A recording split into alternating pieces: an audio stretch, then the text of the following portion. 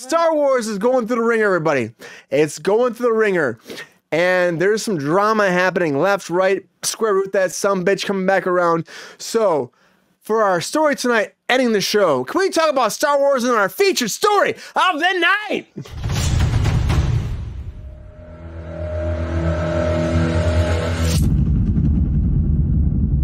Pace yourself, thirsty daddy. Pace your. Lose GR in a minute Always too. pays, bro.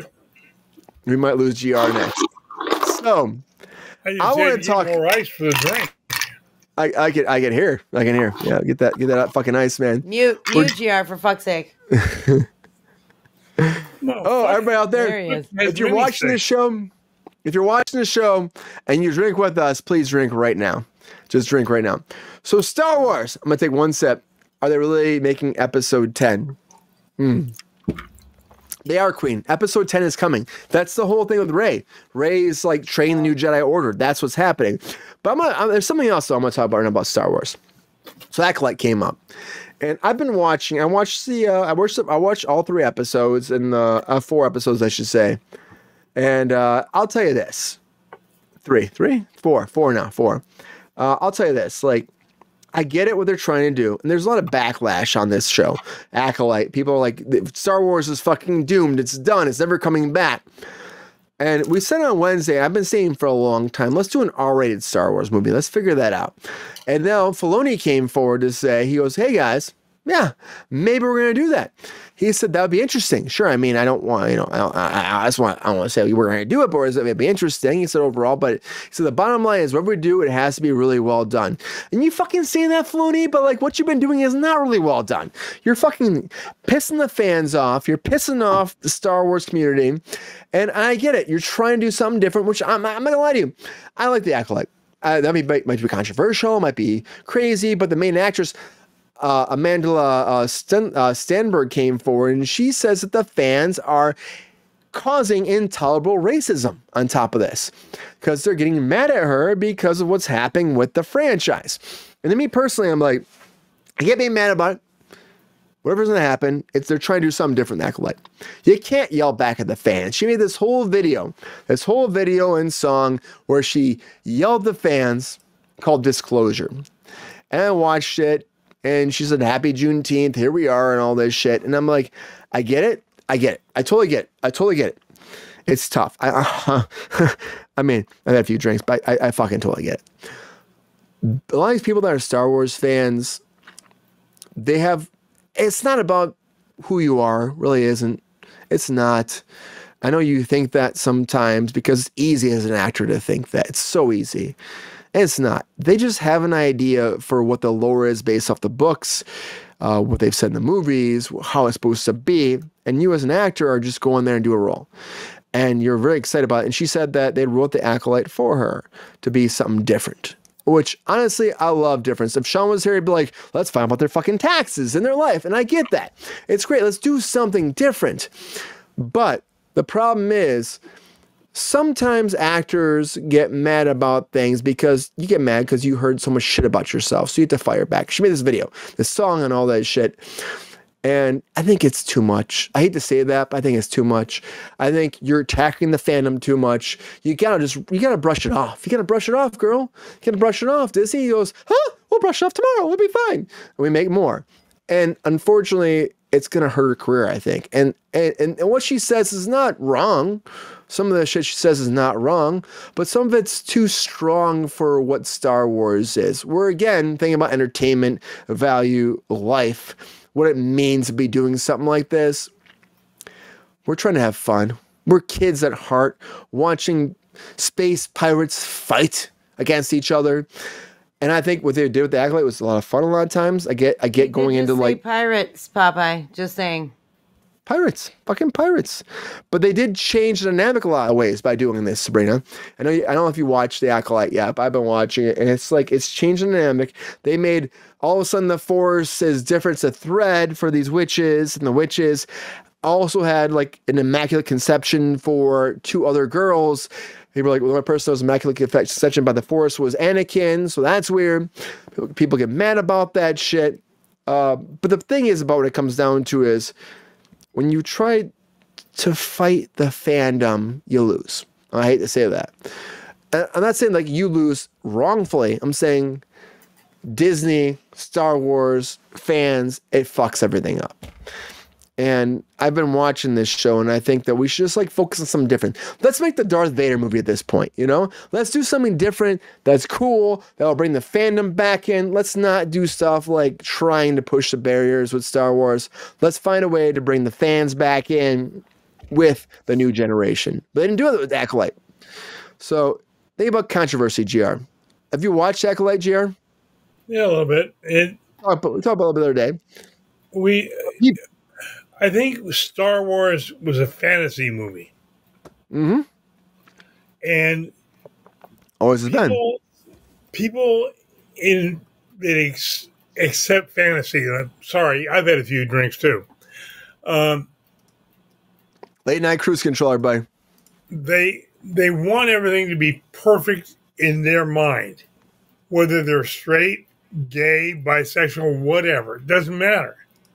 They want everything perfect. So, because the woman had a immaculate conception, she can't be straight. It's something else. You know, eh, that's bullshit. Yeah, I like that. Uh, get down, Darth. But You're down, Gar- Darth. I mean, I don't, immaculate conception doesn't have to do with straight or gay. It's just it's like it's No, like but Mother it- Mary and Catholic, Catholicism. What I was saying, Sabrina, is in some people's mind, it does. Because that's- it's, that's this is an all idiot. this all isn't real. It's all a a dream in their mind. And I to my my mind, I don't give a shit who you sleep with. I don't I really don't. I mean but me, immaculate who conception literally means that you did not me. have sex. So mm-hmm. you're not I'm, sleeping I'm with anyone. sorry. technically. I don't care what they say. Everybody has sex. Right, but an I- you know, you the say that- definition of immaculate conception is that there was no sex involved and you're pregnant. It's well, the, the only I'm sorry, the I don't buy this whole immaculate conception bullshit. Sure, but like, the, do you buy the Bible? I mean, probably not. Like, nor the do Bible I. is I'm one just of the saying. greatest fictional stories ever written. Sure, but I'm saying, is that not the only other time you've heard of an immaculate conception? Like, that's the only. Anakin. the only Immaculate conception never happened. Correct. I'm just saying the only time that it was, you know, put down on paper and believed to be fact was Mother Mary, who had been a virgin and was all of a sudden pregnant with baby. Did you buy that? And did so, I'm not saying you have to buy it. Mm. You don't have to buy it. I'm just saying that is what it means. It has nothing to do with gay or straight. Doesn't matter. There's no sexual intercourse to occur. But can an R-rated movie make that better? Like Star Wars, because Filoni is almost an R-rated movie to change it, make it different. The story, Brian. It, that'd make it more real. But is that what we need? You know, we need that though. Like, No, uh, uh, Well, I mean, it'd so- make it, it'd make Star it Wars more is acceptable to a lot of people. it's always biblical Star Wars. It's always biblical. But I, I say this like, so they're going back and forth about it, and people are really mad about it. Act like people are really mad about it. And um, And I I, just said this. apologize to the viewers if I offended you, but there you go. When Filoni came forward, be like, we do it, we do it, we do, we would do a um rated R, but it has to be right. But they're Oh, they're Papa. fucking everything up as it is. Uh, the ancient Greeks and had miss about immaculate. Yeah, people are mad about Sure. it. But pe- I saw videos online. People being like, uh, like Anakin, or they use uh, Hayden Christensen bitching about like I thought I was the only one, you know, and.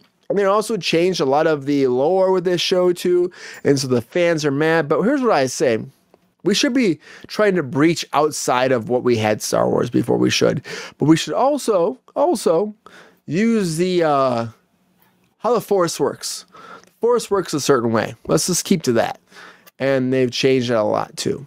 Uh, it's unfortunate, but that's what it Live is. long and prosper. But but but Filoni came forward and said maybe we'll do an R-rated movie. And this is what really this really spun the conversation for me because I was excited about an R-rated Star Wars movie. We talked about that with Sean and Mike on Wednesday. That sounds great. And now Filoni said it like let's do it.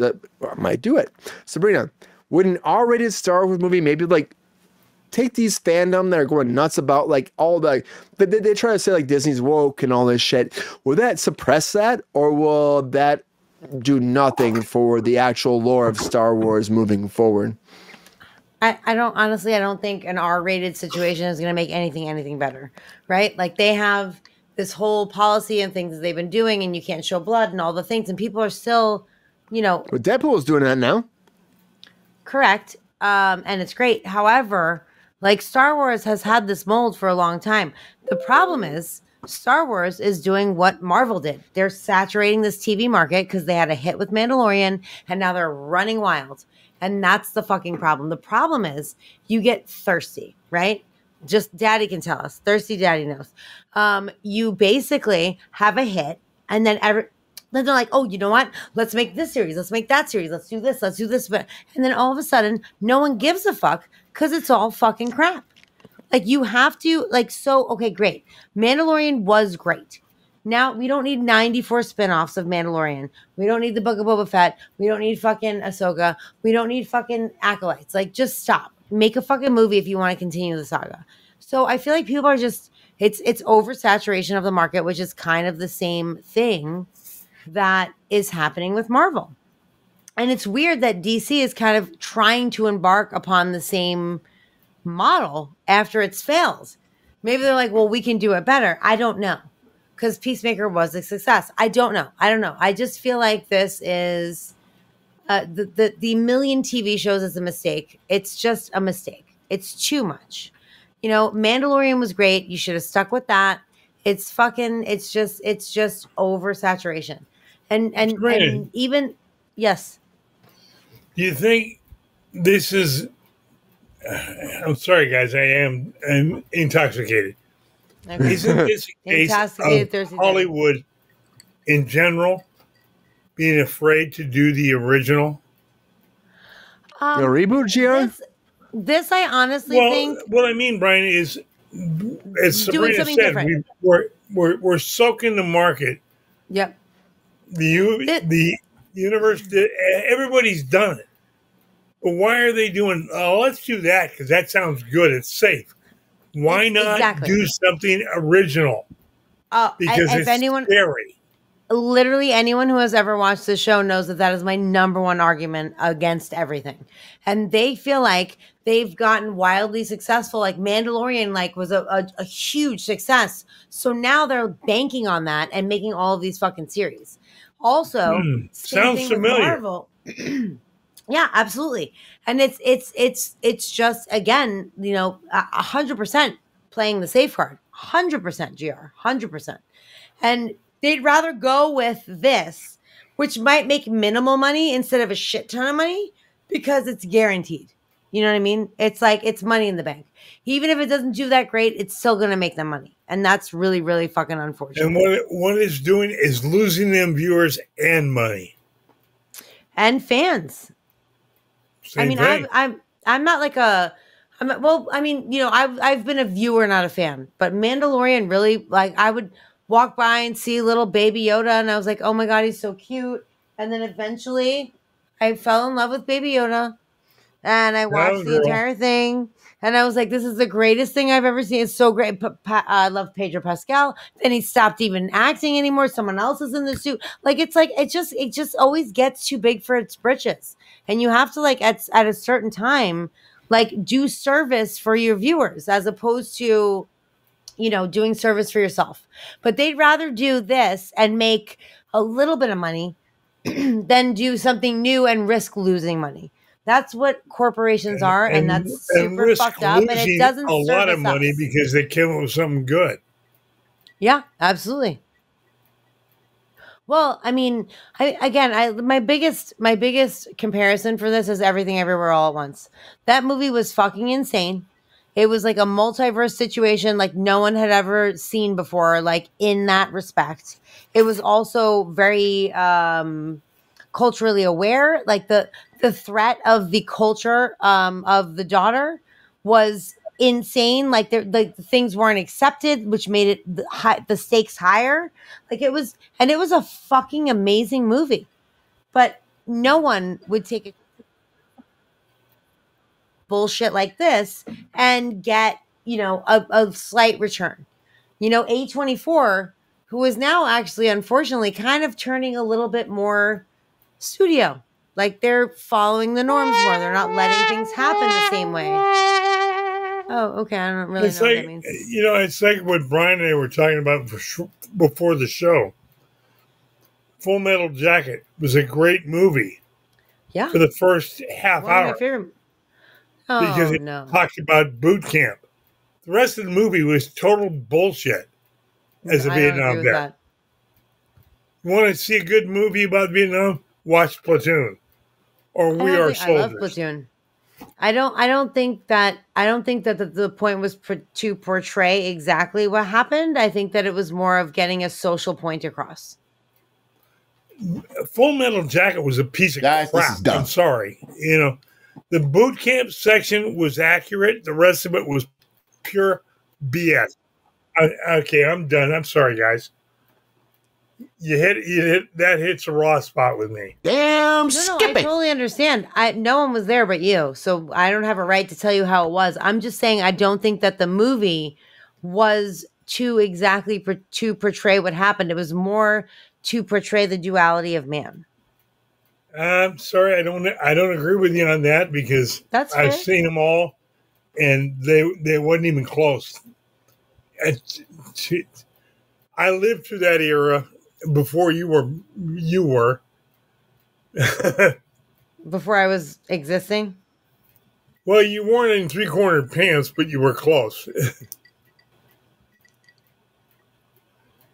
Brian, you're muted. take I can't hear you Words you said. I will say the he thing about? Star Wars is this: the Star Wars thing is like, um, I just think like you know, I've been asking for. it. I think if you're gonna try to change it, make it different, maybe go R-rated, figure a way to make it work so it's different. Uh, I guess you know they're trying to latch in Disney again, huh? We'll always hold on to Texas. it's I'm meant sorry, to be. Brian. No, but Disney holds on to what what they think that's meant to be for family, kids, all the friends in the family, everybody else that comes in a neighborhood that walks down your street that you love, and you say, "Hey, neighbor, what's going on?" That's Disney, uh, and so they don't want to go that route. But they did for Deadpool. When Deadpool makes, when Deadpool makes, it's projected to make 200 million opening weekend. That's huge opening Oh, weekend. everyone wants to see that fucking movie. I can't wait. when Not when that yeah when that happens hopefully they have an idea they're like well let our other shows go down that same route we'll make that same money I and disney I the house it's of 'cause mouse will fly R, dude. I don't think it's because it's rated R. I think it's because Ryan Reynolds is fucking. it's a matchup They're bringing matchup. they're bringing Hugh Jackman back. Like there's a lot of things going on. There's a lot of cameos, a lot of buzz. It's a totally different uh, situation, I, in my i opinion. know i just think that it is their first rated r thing so it's like for them like as a business they're they're like looking at it differently you know what i mean Right, but I Deadpool was help rated R, it. and it was Sony. Yeah. it was still It's, rated uh, R. yeah yeah it was it So was you can't change it at that point. No one's gonna fucking give a shit. But people are excited i think because they know they're going to do the same kind of world you know they're not going to hold back Right. But that world didn't start with Disney. Like they're just No, it did not. The fucking No. moles, you know. They keep- keep they with that shit.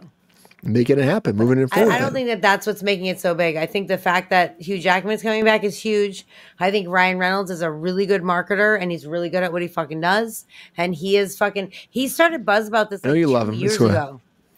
I don't. I do love him. I'm obsessed with him. He's amazing. He's my favorite person on the planet. Down, As girl. a, as a celebrity goes. Down However, girl, cheers. he okay, thirsty daddy. How about you relax?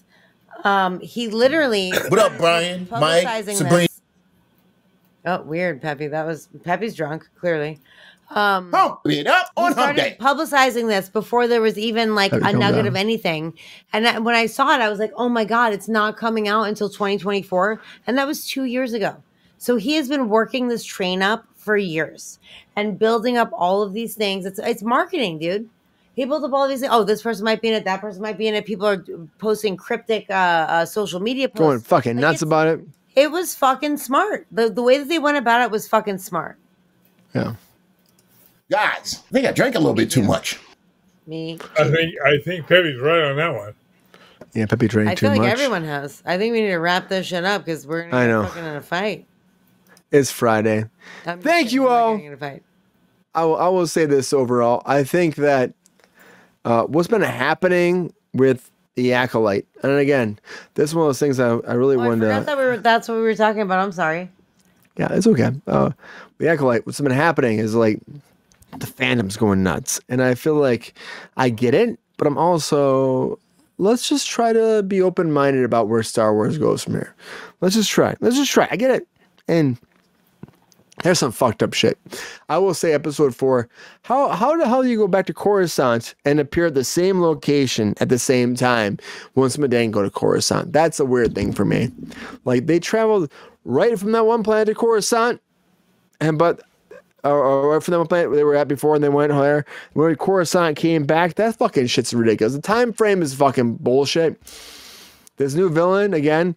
We don't have Siths like that back then. Uh, but again, there's people not respecting the lore. That's fine. It sucks. But that's what we have right now. So respect the lore, Disney. Find the people that understand it so continuity will stop you from getting all this hate because continuity will kill you. Uh, and I hope that's moving forward. The rest of the season is good, but I know people fucking hate it. So uh, we'll talk about more. We'll talk about more because I'm interested to see how this fucking show ends. Last episode, we had the, the Sith Lord attack. Everybody else flew back like it was nothing. I'm like, you said there's no Sith around at this point, but this guy's fucking the strongest ever. He's like stronger than Darth Vader. Okay, good to know.